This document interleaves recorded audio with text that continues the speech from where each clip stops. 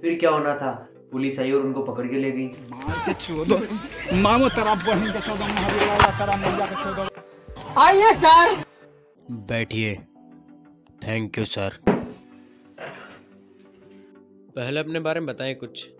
Sir मेरा नाम धीरेन्द्र है and I am from USA USA लेकिन आप तो इंडिया में रहते हैं। नहीं यूएसए का मतलब उधर से आया।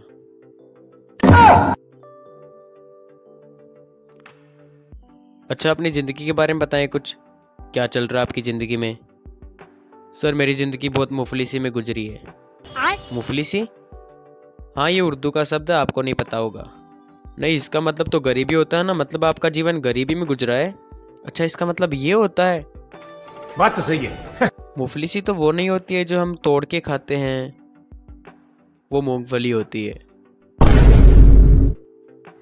अच्छा तो मिस्टर धीरेन, आपने रिज्यूमे में लिख रखा है, आपके दादाजी के बारे में कुछ?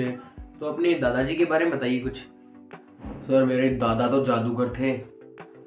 अच्छा ऐसा क्या किया उन्होंने? एक बार की बात है, मेरे दादा ने एक ज़िंदा लड़की को बीच में से काट दिया। फिर? फिर क्या होना था? पुलिस आई और उनको पकड़ के ले गई।